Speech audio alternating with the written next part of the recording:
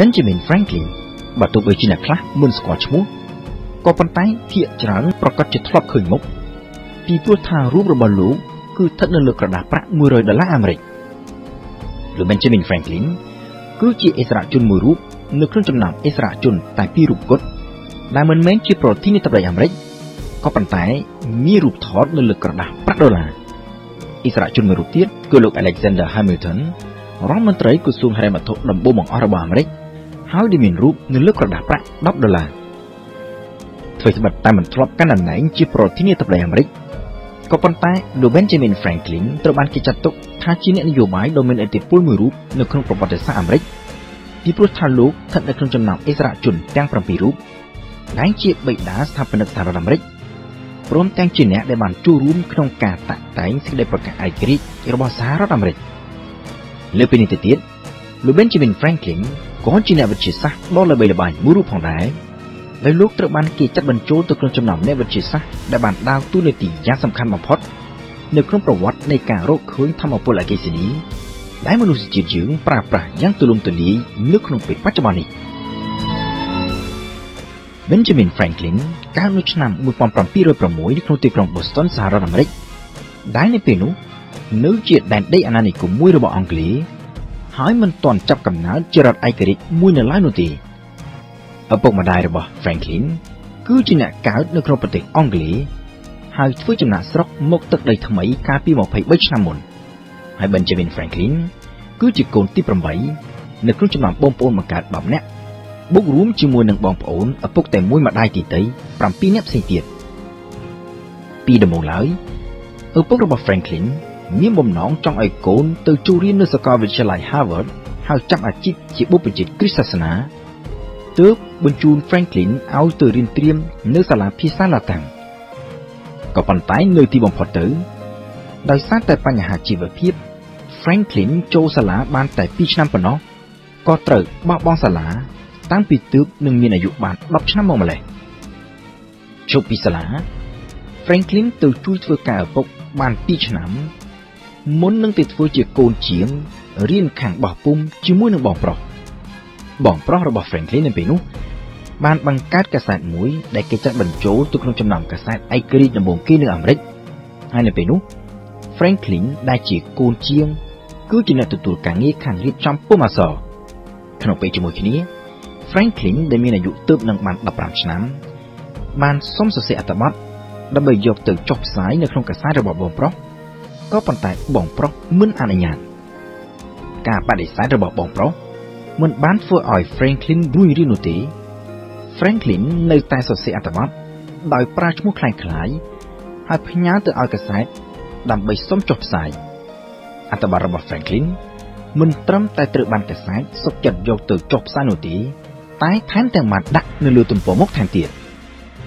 ចាប់ពីពេលនោះមក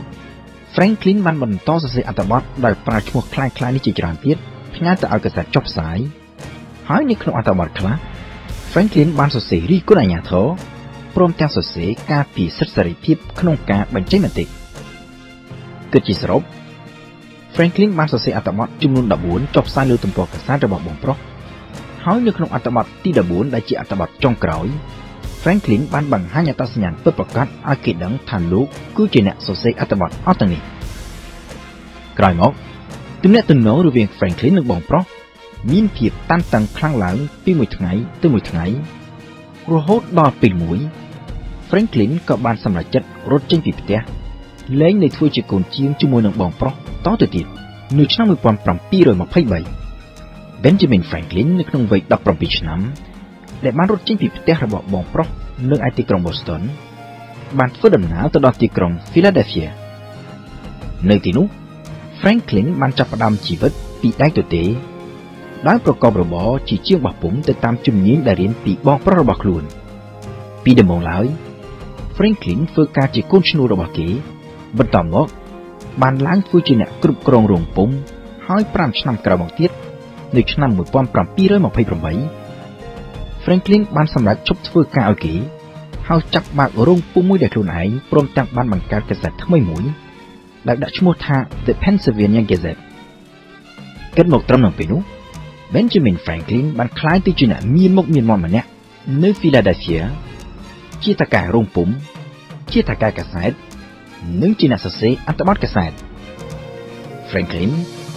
រៀបការកសាងគ្រួសារដែលមានកូនប្រុសម្នាក់និងស្រីម្នាក់ ហើយក្នុងពេលជាមួយគ្នានោះ Franklin ក៏បានធ្វើសកម្មភាពខាងផ្នែកសង្គមជាច្រើនផងដែរជាពិសេសគឺសកម្មភាពតាក់ទងទៅនឹងការលើកដំកើងការអប់រំនិងសិលធម៌នៅក្នុងសង្គម Franklin បានបង្កើតក្លឹបមួយឈ្មោះថា The Junto ដើម្បីប្រមូលផ្ដុំសមាជិកឲ្យធ្វើការជជែកដេញដោលគ្នាអំពីបញ្ហាសង្គមសិលធម៌នយោបាយទស្សនវិជ្ជានិងវិទ្យាសាស្ត្រ ព្រមទាំងចែករំលែកចំណេះដឹងនិងបទពិសោធន៍គ្នាទៅវិញទៅមកតាក់ទងទៅនឹងកិច្ចការជំនួញបន្តិចម្ដងបន្តិចម្ដងការងារក្លឹបចិនទូនេះបានរីករាលដាលទៅជាសកម្មភាពសង្គមជាច្រើនផ្សេងៗទៀត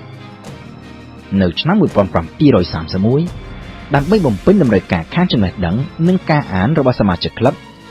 Franklin បានផ្ដួចផ្ដើមគំនិតបង្កើតទៅជាបណ្ណាល័យមួយឈ្មោះថា Library Company of Philadelphia ដែលនៅដំណើរការរហូតមកទល់នឹងពេលបច្ចុប្បន្ន